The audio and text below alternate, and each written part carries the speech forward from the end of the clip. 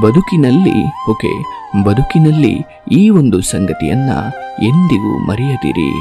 ಮೈಮೇಲೆ ಹರಕಲು ಬಟ್ಟೆ ಇದ್ದರೂ ಪರವಾಗಿಲ್ಲ. ಹರಕಲು ಯೋಚನೆ ಇರಬಾರದು.